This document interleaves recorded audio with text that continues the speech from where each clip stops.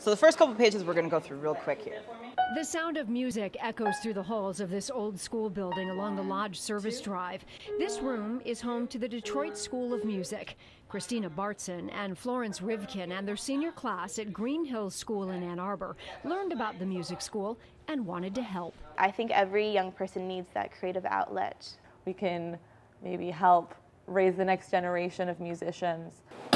Christina and Florence became interested in the revitalization of Detroit when they were part of an alternative spring break in the city last spring.